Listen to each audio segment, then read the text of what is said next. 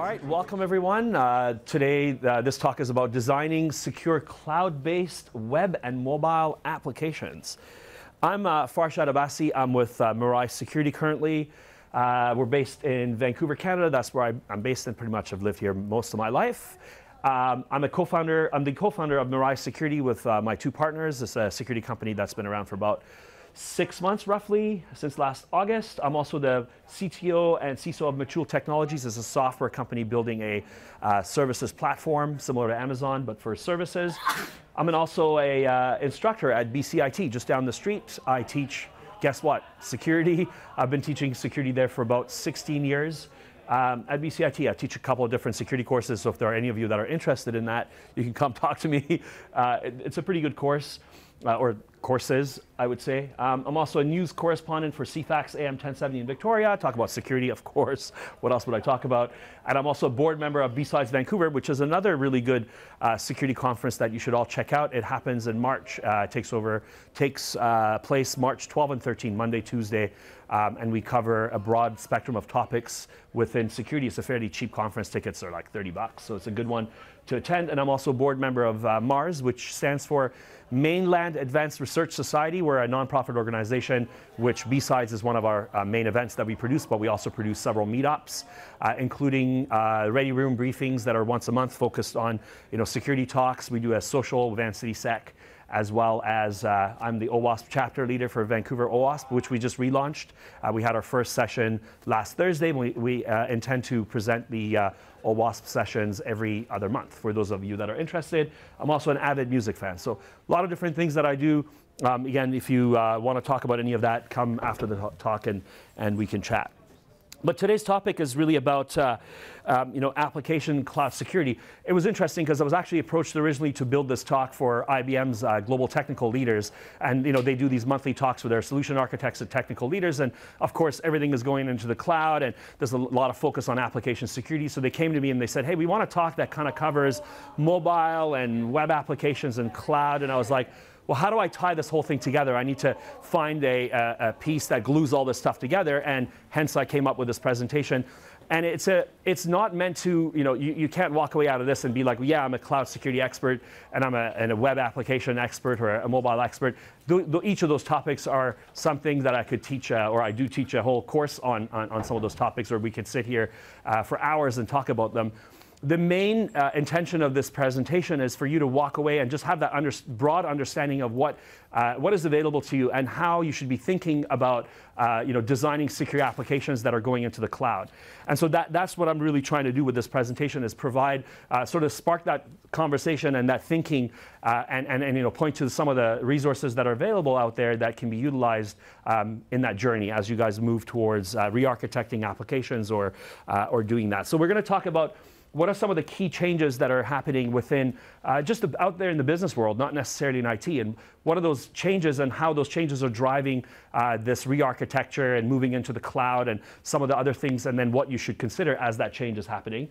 And then uh, we start by talking about some of the uh, resources that are available primarily by OWASP or the Cloud Security Alliance. These are all free resources uh, that are available through these organizations and how you should use them and, and, and leverage them uh, throughout your journey. So we talk about the security by design principles uh, that are provided by OWASP, and then some cloud security concepts so really starting at the fund, foundational levels, right? Security shouldn't be an afterthought. Security shouldn't be something that you plug in at the end when the system is built, right? Like as you're designing and architecting that system, you should be thinking about that security. And that's where the first place is the security by design principles. And then, then okay, now you got to architect the application, but you also got to figure out where this is going to be hosted. So typically in these modern, uh, with these modern applications, you're going to be hosting them in the cloud. And then we're going to look at what are the top cloud computing threats. Uh, again, these are provided by the Cloud Security Alliance. And we'll go through that and then look at what um, what sort of controls are recommended and how you could frame, uh, uh, frame, frame, your architecture and design and all the activities that you're doing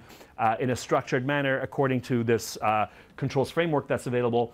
And then we'll also talk about container security because that's a big buzzword. Um, you know, as applications are being re-architected and modernized and put into the cloud, containers are playing a big part in that. So we'll have a quick look and see what they are, how they fit into the picture, and what some of the security considerations are for those of you that are uh, using that technology. And so this starts from foundations, goes into some of the cloud hosting and cloud issues, and then it's like now you're building that application. So a lot of modern applications, the architectures involve some sort of an API, right? Even your client server type applications, there's an API that's exposed, and then there's some sort of web, web client that sits on the uh, browser end, right? So just have a quick look at what are some of the security considerations that should be given when you're, you know, looking at uh, APIs or if you're trying to re-architect your applications and leverage APIs. And then we'll close it off uh, by looking at the, the distribution channels, right? So you've built this application, you figured out how the, you know, you, you're looking at some of the concerns with respect to hosting in the cloud, and then now you got delivery channels, and typically uh, in this day and age, they're either mobile or web, right? I mean, there are still companies that are delivering green screen or other other channels, but these are the two typical channels. So we'll quickly look at what uh, you should consider when you're building for those channels, and then we'll wrap it up with a Q&A. Hopefully there's some time for that. So with that said, um, and, and, yeah, please, uh, do, if we run out of time for Q&A, I'll be happy to hang out here for a bit and, and answer uh, any of questions that you may have that may not fit in within our allotted time. So now that you got an idea of what this presentation is going to cover, let's talk about what changes are coming and how this is driving application re-architecture and pushing things into the cloud, right? So a lot of businesses right now are being forced, uh, uh, they're going through this whole digital transformation, right? I heard this term like three years ago, I had no idea. This, oh, another buzzword, right? Digital transformation. What does it really mean? What it really means is that every company, you know, I mean, it started with a lot of like financial institutions and banks, right? They said, you know what, let's, we're, we're going to move away from branches. Customers don't want to go walk into a branch. They want to be able to have anytime, anywhere access to our application, right? And, and this is sort of cascaded into all industries where they're looking at every business process that they're doing today, whether it's uh, paper forms, whether it's uh, you know, ordering uh, food over the telephone, or any of those traditional models of doing business or processes within that business are being challenged. And companies are looking at ways that they can uh, utilize computer technology or automation and digitally transform those manual processes or things that were traditionally done brick and mortar or on paper and really bring all that and make it digital, right? That's what digital transformation is about. And as that's happening, that requires a lot of agility, right? You, it requires adoption of new technologies. You can't think of the same way, you know, oh yeah, we're going to have uh, an old data center with a bunch of hardware where you're going to have uh, an application that's going to be available to millions of people and has to scale out really quickly based on demand. So you really have to look at new ways of architecting and building applications that can be agile. You can take, uh, you know, if there's a, all of a sudden, if something is not working for your consumers, you can in incorporate new features into that application really quickly. You know, these are things that were not possible with the old ways of building sort of monolithic client server type apps hosted in, uh, uh, in, in, in, you know, uh, uh, traditional data centers that are not very flexible. They don't provide with, for, uh, for that uh, speed of integration of new features or scaling out and all the, all the other things that are required to meet the needs for a digital transformation. And as a part of this come uh, things like you know, using APIs or using cloud-related technologies. So those are the two ingredients of digital transformation, right? Really, uh, a, a, lot of people, as they're going through this journey, they're adopting these technologies. And you know, things like VMs or containers, uh, building microservices or adopting software-oriented architectures. And this really has a wide impact to existing policies, existing processes, tools, standards, even how the teams are formed, right? I mean, you can't have the traditional model where you have a team of 100 building this monolithic app. There's a lot of dependencies. You're trying to put a new feature, it has to go through a lengthy change request. You need things to be agile, fast. You need to be able to respond to customer demands really quickly. So it's not just, you know, adopting cloud and APIs. It's really like rebuilding how your teams work together, rebuilding how processes work, how, how quickly you can respond to things and, and, and, and you know, deal with security security. So it's a holistic, um, you know, uh, uh, end-to-end consideration that needs to be given uh, as, as, organizations go through digital transformation. And, and there's a lot of pressure uh, due to the massive digital disruption that's coming along. So the real takeaways here are that infrastructure is moving to the cloud and being deployed as code, right? So it's really, it's not really, I mean, it, there is hardware at the end of the day. But really, when you're building these, these uh, uh, cloud-based infrastructures, it's really like you, you can almost apply uh, software development practices to that, right? Because you're essentially writing some code, you know, whether that, that code eventually translates into some inf virtual infrastructure, but you really are building it as code. So you can apply those things like version control and a lot of other uh, best practices that, are, that have been tried, tested in, uh, uh, for, for a number of years into software development methodologies. All those lessons learned can be applied here. And uh, applications themselves, as I mentioned earlier, they're being re-architected, they're being broken into microservices. And the reason that is being done is that, you know, again, it provides that agility and that independence, right? So if you could think of it as that if you had an application in the past that might do six or seven things, and that was built by a team of 100, you know, you had like your nightly build, right? And if one team member broke something, it would break the entire application. So all the other functions wouldn't be able to build because there was one piece that, you know, someone was writing that was a dependency onto that, right? Now, if you take this and break it into six separate teams with six separate functions, and each of those are independent. And well, if this one team doesn't deliver their part or breaks the build, well, it's only going to impact them because the other teams are independent micro delivering independent microservices that get deployed into uh, typically into a container. So it really, it's a really uh, a nice way of providing that independence and being able to deploy things and, and, you know, and, and being agile which lends its, itself into agile development processes and DevOps and all that stuff, which again is the topic for a, uh, another talk in, in and of itself.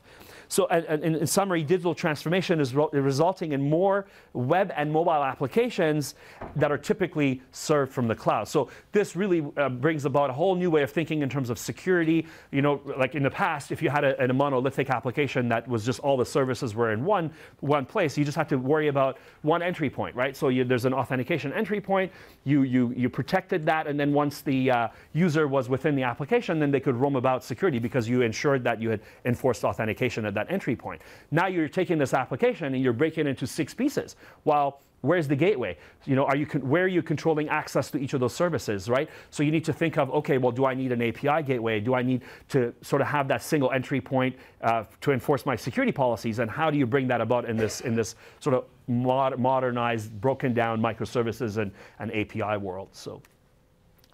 So before we uh, get into some of the other considerations, one of the first things, you know, if you're building a new system or a new application, it's really a good idea to start thinking about security right from the start, right? I think I saw one of these reports from Gartner or one of these companies, and they were talking about uh, the fact that 52% of defects, security and non-security included, could have been prevented if uh, the requirements were better. So if there was the security person at the table during the, the stage where the requirements are being defined, they could put in those uh, elements of security uh, into the requirements that would translate into better design. And then when that design is translated into something that's developed, you've already got security taken care of because it was already baked in into the requirements at the early stages. 52%, that's a pretty high figure, right? So if you don't have security at the table in that early stage, or what the buzzword these days is shift left, right? They're calling it shift left. What it really that means is moving it as early to the moving it uh, to the uh, earlier stages as early as possible, right? Like that's like that's what this buzzword is about. Is rather than you know all the way out the right here where the application is completed and built and deployed.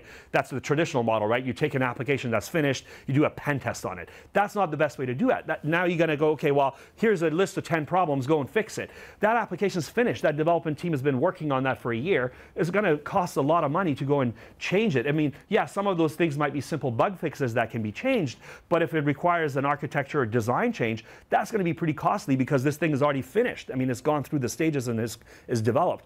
But if you quote unquote shift things to the left and really get uh, get in there, get security in there as early as possible, right? So that they're in there at the requirement stage, they can bake in the, the, the security controls into that requirement and design and prevent all those costly uh, defects and, and mitigations later on. So that's what uh, uh, the security by design principles is about. I mean, it's funny because OWASP has got the uh, security by design principles that I'm going to talk about, but you know, companies like Amazon are also providing that as a, as a practice. So as a best practice, I mean, security by design means that really put the security into the design before you go and build something. And, and that's just common sense, right? When we go and build a building or a bridge, we don't go and just build things ad hoc, right? We always take all the different criteria in terms of if I'm building a bridge, what is the uh, you know strongest wind that could come here? You think of all the potential factors that could stress that particular bridge, right? And so why aren't we doing that with security? I'm going to build this application. Why am I not thinking of those factors that could put this application to stress, which is attacks and various other various other things, and really take those into consideration and build them into our design at the early stage. So you got a strong foundation that you've built upon. And that requires that shift in thinking. So OWASP has put together this, this uh, security by design principles guideline, and it's a guidance to produce secure apps by design. And it's before uh, determining the controls, you basically classify the assets first and consider the mo most likely attackers. So you're doing that sort of pseudo threat modeling really early on. And that's what threat modeling is, right? Really modeling the different, here are the assets, here are the particular uh, threat actors, and what are the threat scenarios that could come out of this. And let's build controls that prevent that from happening. So while you're going through that process, you know, you should consider the C, the I, and the A uh, when building those controls. So like what are the confidentiality issues, what are the potential integrity issues and availability issues, and uh, this will really help you produce more robust controls, right? Just like I mentioned in the bridge example, if you don't take into account that there could be heavy wind and shake this bridge and you just build the bridge, when the wind does come, it may not come today or in 30 years, but when it does eventually come, then your bridge will get destroyed. So similar here, attackers are not going to come every day, but if you haven't thought of the potential uh, attacks and build controls in your application, then you're not really ready for it, right? Then yeah, you could do some patchwork and put a WAF in front of it or put this thing in front of it, but that's not really, that's not the real way of addressing it, right? The bridge should be built you know, with strong enough foundations and hardened enough so that it can withstand uh, the attacks when, when or uh, the uh, disasters when they come about. So it's really having good security architecture is just as important as architecture in the real world, right? As I mentioned the bridge example, but a lot of people don't think that way. We do that in the real world. We put a lot of emphasis uh, on architecture when we're building buildings or bridges and all the infrastructure in the physical world. But when it comes to the digital world, we, we, I guess the industry is not mature enough, right? Like the uh, building uh, builders association and architects and those guys, these, these, are hundreds of years old. They've got practices and engineering uh, uh, organizations and all that stuff. But software, you know, at most, what is it? It's like 50, 60 years old. Engineering practices have not uh, have not uh, strengthened in that same way, but we're getting there. There are already uh, you know these frameworks that are available and processes and practices, security by design principle, all these things that uh, people are, are pushing out there that hopefully will get the software engineering practice or, or systems engineering to the same place as we are today in the physical world. So let's look at uh, just quickly here the, the 10 security by design principles. Again, you can go to the OWASP page. They've got details on all these things and case studies and everything else. But just as a, so that you get a taste of what they are, is minimizing attack surface area. They're all fairly common sense, right? So when you're designing this thing, ask yourself these questions. Put this in front of you. And as you're going through your design journey, am I uh, are, are these applicable and am I doing something about that in my design, right? And if the question is, well, that's not applicable, then great. But if it is, are you doing something? Are you putting a, a, a requirement in that uh, uh, uh, you know, systems requirements document or however it is that you do your requirements in order to, to uh, account for this? Are you establishing secure defaults? Are you uh, following the principle of least privilege? Are you following the principle of defense, defense in depth, right? This is a really important one. A lot of people say, well, I've got you know, a, a service-oriented architecture of microservices, and I'm only doing input validation uh, at my user interface. Well, the question is, well, what if this microservice in the back end where you're not doing user validation, what if it talks to another microservice, right? This is a very agile environment. You're building these services so that they can talk to any other service. So if you say, well, you know, my front end is doing the input validation, my service, the back end service shouldn't do it. Well, what if that back end service tomorrow talks to a different front end and that front end is not doing input validation, right? Are you doing your defense in depth approach? Are you, are you, are you following this principle and putting input validation everywhere? Any service that's receiving input over HTTP should be doing that, right? Not just the front end ones, right? Because those back end services could be talking to other front end services that may not be as hardened.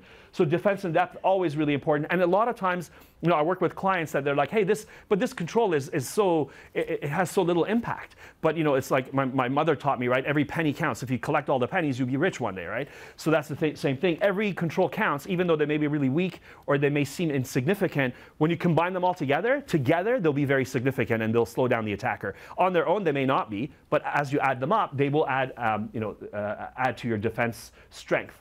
Failing security is, security is really important. Again, a lot of people, when they're designing systems, they don't really think about that. I use the bridge example, right? Like, it, you know, when it fails, is it failing security? Failure is going to happen. It's not that your application is never going to fail.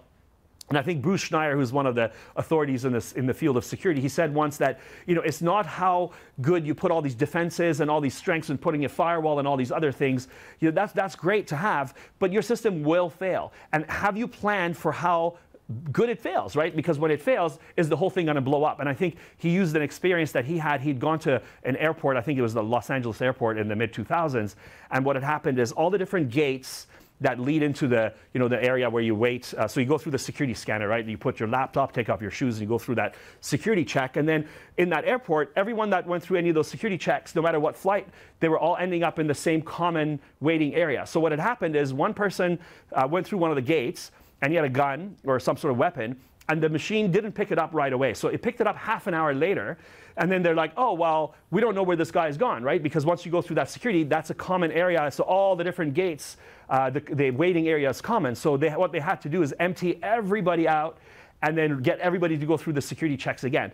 But what if they had segregated that? So if like, you know, the first three security um, uh, you know, scanners led you to like the five gates, and then the other three led you to the other five gates. Then, if one of the scanners fails, then you only have to empty out the people that are that have gone through in that in that segregated area. So compartmentalization is really important in that case, right? So again, the scanner will fail, but are you, when it fails, have you, in this case, compartmentalized your environment so that you only have to deal with the issue instead of emptying out everybody out of the airport, right? So it's, this fail security is really important. Have you designed your application so when it fails, and it will fail, how, how bad is the, the blast radius or the impact of that failure, right?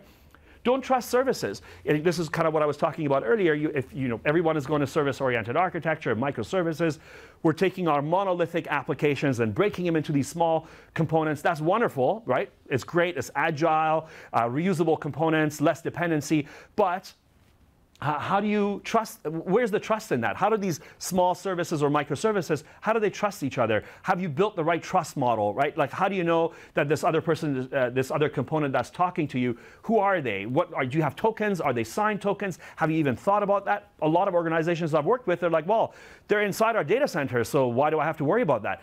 Well, people will get into your data center. They might put a rogue application. You might get rogue requests. Your data center might be available to your employees that might generate packets from their laptops. Who knows, right? Just because it's in your internal network, that doesn't mean that that service is safe and you can trust anybody that's talking to it. So you really have to have a strong trust model and figuring out who it is that you trust or you don't. Separation of duties, you know, common sense. Don't really have to talk about this one much. Uh, avoiding security by obscurity. Again, I hope that you know you. This is something that we don't do. Again, I see this all the time. Oh well, no one knows that IP address, or no, the classic example, like no one is going to know that URL. Well, you know, people will figure it out. They'll do you know war driving and find the IP address and all kinds of other things. So you know, don't do this. You know, I mean. Uh, what else can I say about that, right? And keeping things simple, don't over architect.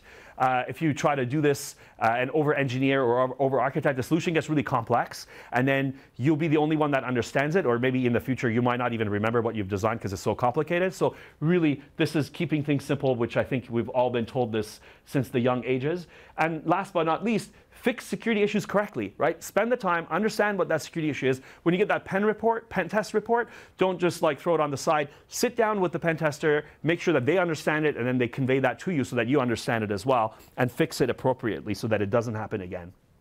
So these are foundational principles that should be taken into consideration as early as possible. But once you've done that, so now let's step back and go, okay, now let's go from the cloud. We'll, we'll discuss our, we'll, we'll, we'll have our conversation in terms of security. We'll start from the cloud. We'll go to like, you know, containers and APIs, and then we'll look at the channels of delivery. So cloud security. I hope that you have a high level understanding, but if you don't, here's the NIST definition of cloud computing. So I'll just read that verbatim. It's a model for enabling ubiquitous, convenient, on-demand network access to a shared pool of configurable computing resources, e.g. networks, servers, storage, applications, and services that can be rapidly provisioned and released with minimal management effort or service provider interaction, right? Kind of wordy, but I hope it puts it into perspective. And if it doesn't, let's look at the four models of cloud computing. So really, cloud computing is about this pool of stuff that you're not aware, you just want a resource, right? And then it gets allocated to you. But there are different isolation mechanisms. It's not that straightforward. I mean, you, these are the four different isolation mechanisms, and they result in different models of cloud computing, right? A lot of you are probably familiar with uh, SaaS, right? SaaS is a form of cloud computing. You've got a shared application, it's out there, multiple people are using it, right? The separation boundary there is the user accounts, right? Your user account separates your ap application space from the other person. So that's SaaS. And as we go like from here to up, there's very little control to more control. So with SaaS, you have very little control. I mean, all you get is within your application account, you might be able to configure preferences and things like that, but you can't configure which, uh, which database you want to use or how often it gets backed up or any of that stuff. All the stuff underneath it is abstracted from you. And as you go higher, you get more control. But so you see, then the next level down from there is containerization. And that's also known as OS level virtualization. And the reason for that is the abstraction layer is the operating system. So you, the, uh, you have your own machine, you have your own virtual machine. And if you're in there, it looks like you have a full machine. But underneath it, you're sharing that operating system kernel with the other tenants, right? So the other virtual machines there, they're sharing that kernel with you. So they, that's why it's called OS level virtualization. And that's a technology that's used to deliver CaaS or PaaS, that stands for Container as a Service, or Platform as a Service. And then as you move up, you get more control, you get virtualization. And that's the one everybody's familiar with VMware, virtual machines, EC2 instances, Google Compute Engine. Those are just virtual machines, full machine. It's got a kernel, it's got the full stack operating system. It's a full machine that runs on top of a hypervisor, right? So the separation there is the hypervisor. Here the separation was the user accounts. Here's the separation was the operating system. Here's the separation layer is the uh, the boundary is the hypervisor, and it's used to provide infrastructure as a service, right? So when we're talking about IaaS, it's just raw infrastructure. It's like, here's some compute, here's some storage, and here's some network. You figure it out. So there's more control because you can deploy your own whatever you want on top of that, right? And then ultimately, if you're really concerned, so here, so before I go to that one, vulnerabilities at this level are related to CPU or hypervisor. I mean, even last year there was an issue with Amazon with their hypervisor, right? So you, it's never 100% secure. You, if there are hypervisor vulnerabilities, someone could go from one virtual machine to another. But because the technology's been around for a while, a lot of those issues have been addressed. You know, the, if this was like 10 years ago, yeah, there'd be a lot more problems. But over the last 10 or X number of years, this technology's been out there. A lot of people have had a chance to play with it and come up with uh, and find vulnerabilities and address them. And that's one of the key principles in security is use technologies that have stood the test of time, right? And have seen a lot of eyes. The more eyes that look at it and the longer it's out there, then the more vulnerabilities will be found and the more secure the application becomes as a result. So and then finally is the physical separation, which is also called bare metal cloud. And if you're so if you're concerned about covert channels and you know defects in hardware protection mechanisms and all those other things, which again isn't crazy, right? Like those concerns are not crazy. We see we saw the, the issue with the Intel processor. There was uh, the, the, covert channel issue. There have been a number of attacks uh, regarding covert channels. So if, if you're the type of organization, uh, you know, you might be like the U.S. military or, or, uh, or, FBI or someone with really confidential information. You may want and you want you still want cloud. You go with bare metal cloud. In that case, you're dedicated a set of hardware that's yours. You're not sharing it with others, but it's still abstracted from you. you when you ask for a machine, you're given a virtual machine, but it's you there's a one-on-one mapping between those machines and physical hardware that's been dedicated to you, and you're not sharing that with other organizations. So these are all the different models, and basically cloud computing, you know, the, the four models, uh, they depend on which, which workload isolation mechanism is utilized. So you can see here in the picture, you can see more control down here and less control down there, right? So as you go to SaaS, there's less control, and as you go to bare metal, there's more control. And you can see that here, it's just like your end users are involved, right? Your application architects can't really change the architecture of a SaaS application. But with PaaS and your other, you know, with PaaS, it's more the the application architects and developers that are using PaaS, right? PaaS is just like, it gives you everything you need. All you need to do is deploy your code in there. You don't need to set up your database. You don't need to set up a web server. That's all abstracted from you, but you still have control. You can build applications and put it in there. But when you get down here to IaaS or bare metal, it's like you need your infrastructure people to go in there because you need to actually figure out, oh yeah, I need to put these EC2 machines and I need to configure the network this way. So that the, the people that deal with this layer are, are typically infrastructure architects or administrators in an organization. So lessons here: cloud security is shared responsibility and and you know it's not that okay yeah i'm using amazon or google and my responsibility is done there are things that they will do to protect your data and they're responsible for and there are things that you need to do uh, to protect your system and application data that you're responsible for and that's why it's called a shared shared responsibility model and those things are um, you know, so the, the cloud providers' responsibilities, uh, they need to ensure that the infrastructure is secure, right? Because they, they're the providers of that infrastructure, whether it's IaaS or PaaS or whatever it is.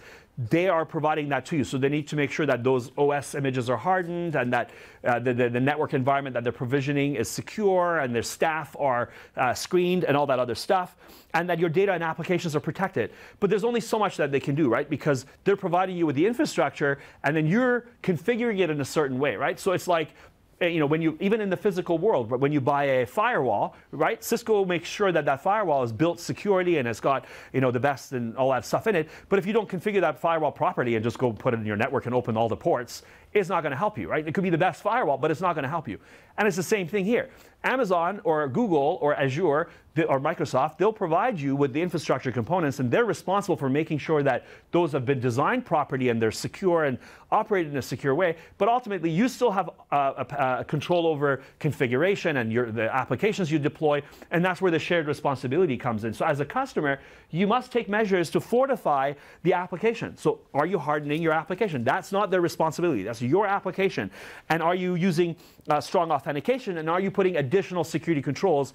Um, you know, so okay, great. They've got like you know they provide you with uh, Amazon provides you with security groups. Are you configuring them to ensure that they're working the right way uh, for your environment?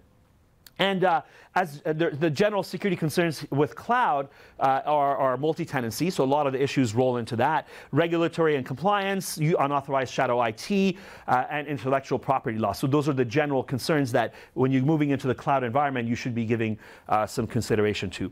And key management and access control are really important. So when I'm consulting on cloud projects for companies that are moving from on-prem to cloud, those are like the two areas I say, you know what, we can. There's a lot of things we need to do, but the two things we really need to get right is how you're doing your key management. And they're like, well, what do you mean? They're like, well, you got API keys, you got keys for your application, you got this key, that key. Who's configuring them? Where are they coming from? You know, like in the old days, you might have an on-prem, you had an IT security team, and they may log the keys and they hand them out to users. Now, how are you? How's that model shifting and adopting for the cloud?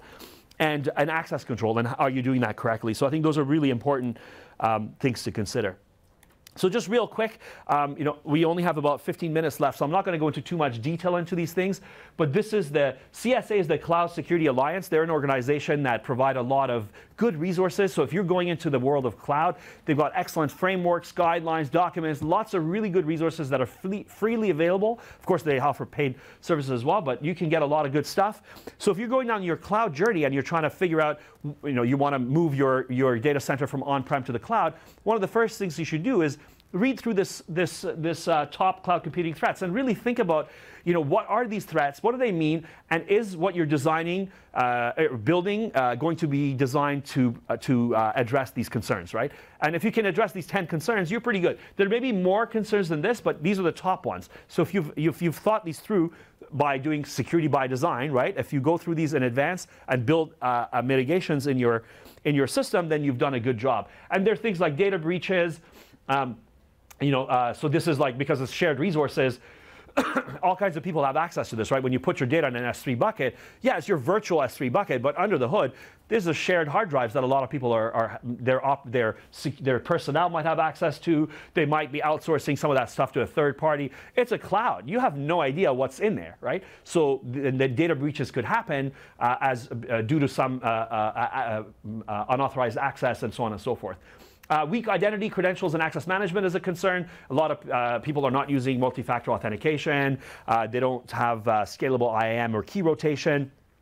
Uh, insecure APIs, right? You're like, how is this related to cloud security? Well, again, as I was saying earlier, a lot of people that are going into the cloud, they're also, they're, some people are taking their traditional applications and just moving that workload straight over, and that's totally fine. But to really take advantage of the cloud, you should take that workload and see how you could rebuild it. How can I refactor, re-architect that application to take advantage of those facilities that the cloud provides, right? For example, key management, right? AWS, Azure, these systems offer great uh, uh, security hardware, hardware security modules or software security modules or KMS, key management services, that a lot of people that have built their own applications aren't doing a very good job at doing that. So you could easily, when you move your application to the cloud, if you just re-architect the key management piece and tie that into the KMS system that Amazon provides, all of a sudden now you're taking advantage of a better, they, you know, they're using uh, hardened systems to protect that key. They do the key rotation for you. Uh, they remove the, the, uh, the the uh, requirement for you to pass these keys around. So there are a lot of cloud native uh, services that are great, but that require some adjustment to the application and typically, you know, uh, uh, modernizing and APIizing that application. So insecure APIs come in and you know exposing sensitive assets to the outside. Now you're exposing things as APIs. You know, in this walled garden where everything used to sit in is now open. So how are you doing that security to make sure that that, that data doesn't get uh, uh, to, you know the APIs are not called by the wrong people? Have you have you put in the right API security architecture? Right, and, and that, again, that can be a topic of uh, a huge topic of conversation in and of itself. Uh, number four is system and application vulnerabilities. So again, you're in a shared environment. You know, there's shared memory and resources, and that opens up up new attack surfaces because if one application blows up, they have access to shared resources, then your, your system may be using that, uh, those resources and then you'd be vulnerable to it. Account hijacking, I mean, this is nothing new, but the impact is amplified. So you think about this.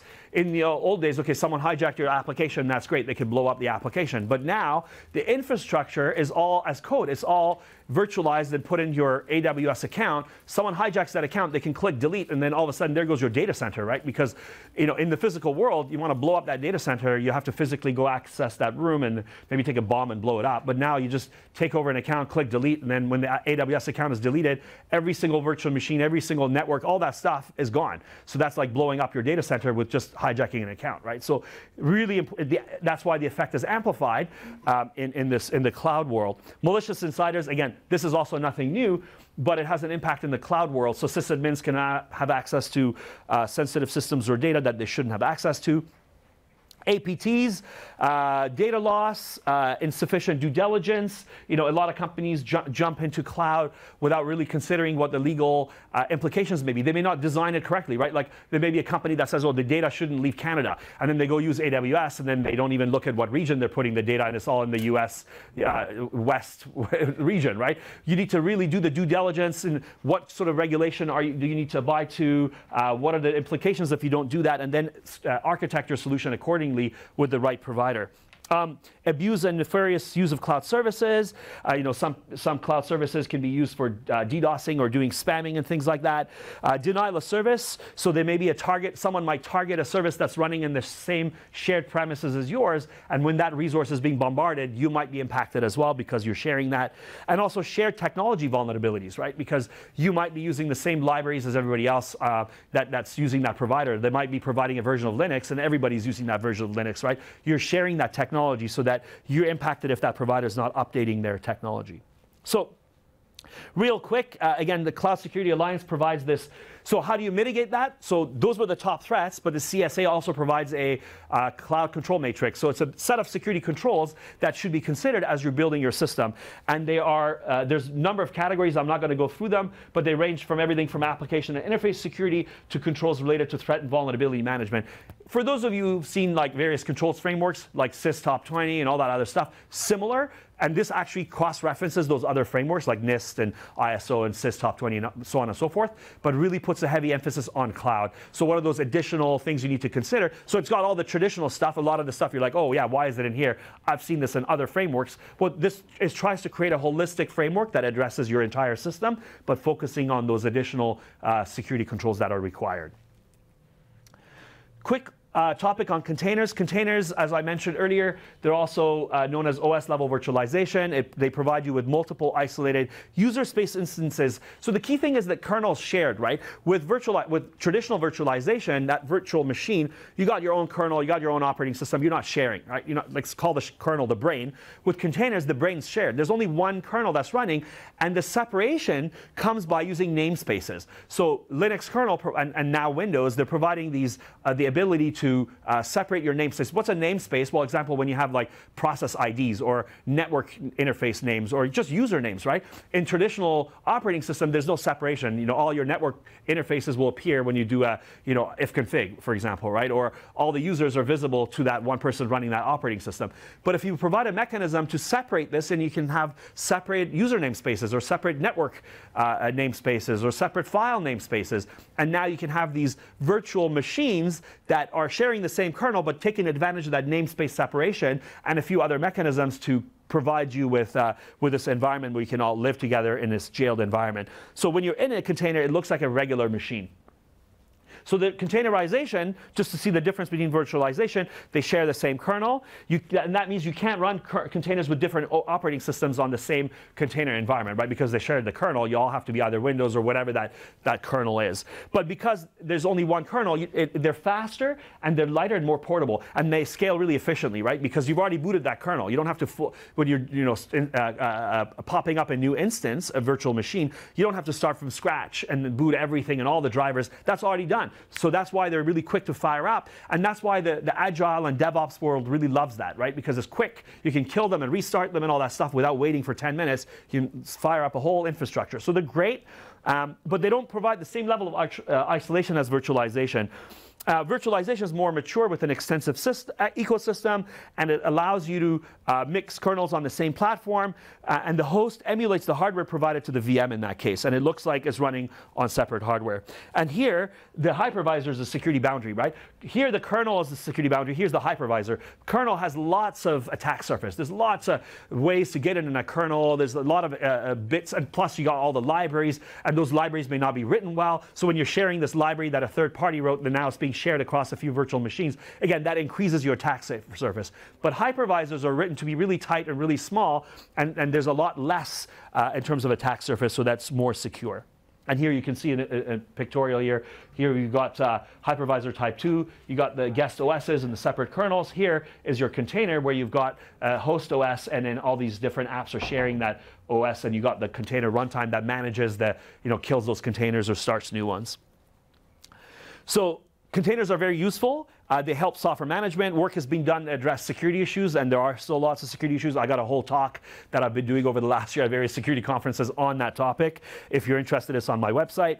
And they should be used uh, with caution. So uh, processes in the container should not be given privileged access, right? And uh, they're good for deploying apps uh, that are trusted, that are from the same vendor.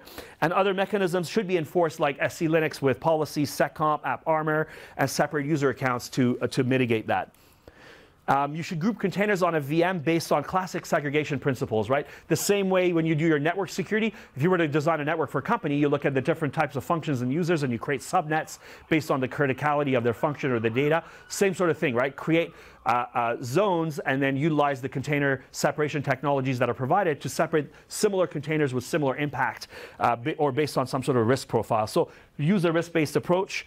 Uh, services should be run as unprivileged when possible, and privilege should be dropped as soon as, as, not, as not needed, right? Because if it's uh, running as root and you haven't implemented the user namespace, then that container could uh, go through the kernel and execute root access level functionality in the other containers.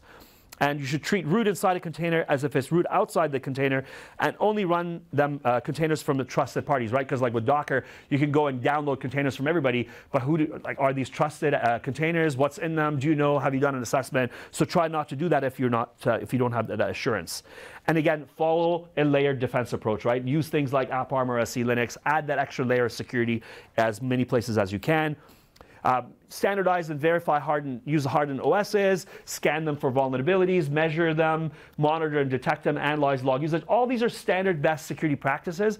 Nothing really new, like you should always be analyzing and monitoring and not trusting, untrust, uh, not using untrusted code. Uh, but again, putting them in perspective in the, in the container world is really important. Uh, real quick slide on API security. So we talked about infrastructure, hosting them in containers, and now we're, we're re-architecting our application. We've got to expose them at APIs. The things, the lessons to take away is that maintain end-to-end trust across the entire journey, right? Because your application is no longer in one bundle. Your application is now being broken into these APIs or microservices. So you need to make sure there's a way that you're doing end-to-end trust, whether that's through tokens or some sort of other trust mechanism. It needs to be designed within your application. Make sure authorization is enforced at the right place with the right level of granularity. Group uh, your APIs to apply configurable security policies consistently, right? So have an API gateway, group them together similar. It's just like users, right? You don't apply user policies per user. You create a group and then you apply the policies at a group level. Managing it that way is much easier and uh, a much better of do, way of doing it, right? Same thing here. Don't manage the policy per API. Group similar ones and then apply the policy at the API gateway and enforce it to a group of APIs. And don't forget to log, monitor, and detect. And then, of course, uh, you know, again, follow the defense, defense in depth approach and apply security at all layers. I think I have like two minutes left, and we'll just touch base real quickly. So we've talked about cloud, uh, security hosting the applications and exposing them as APIs. Now the delivery channels, right? So you got mobile and web. Well, guess what? OWASP has got some good guidance. So here, the OWASP has got their top 10. I'm sure most of you have heard of this. Some of you have not. It's a great resource. They publish this, uh, and they update it every couple years. So this is the 2017 update. And these are really good things to consider as you're building your application, right? So have you tested for these things? When you're building it and testing it, have, this is the low-hanging fruit. If you can go through and make sure that you've covered these particular threats, you've covered, I'd say, 80 or a higher percentage of the threats that are possible. What about the other 20%? Well, hopefully you've designed it following the security by design principles, and the 20% have also been, been addressed, right? But the, the OWASP Top 10 provides a, a really good uh, starting point for uh, looking at various uh, potential issues with, uh, with, the, with the web applications that you develop, but they also build a mobile top 10. So this is because the mobile channel has intricacies that are different than the web channel or traditional web client applications. So OWASP also puts out a uh, top 10 threats regarding to mobile application development. And these are things that you should be taking to, into account when you're doing your building your test cases and, and, you know, and, and, and strengthening your application. Um, so um, I think that's about it. I think I've reached uh, my time. Kind of order, they prioritized in that order? They are. So top 10, yeah. So that's number one to 10. So the most occurring issues. So in the case of mobile, improper platform usage is the number one, followed by insecure data storage. And if you look at the, the, the, the traditional web top 10, yeah. this injection one is the biggest, SQL injection. Yeah. There are so many attacks that happen through injection. Like I've worked with developers, if we do proper input validation, mm-hmm. it mitigates LDAP injection, XML injection. There's, there's so many things that just by doing this, and then, you know, of course, broken authentication is also huge. You see so many people that are not taking it, uh, tokens properly or not handling authentication. Session management is not handled properly. So yeah, th these are done based on analyzing. So companies put out their threats, they aggregate it, they do statistical analysis, and then publish this top 10 every couple years. So I don't know if we have time for questions, but if we don't, I will be here. I'll go outside if the next speaker needs to come. I'm happy to entertain questions of all kinds.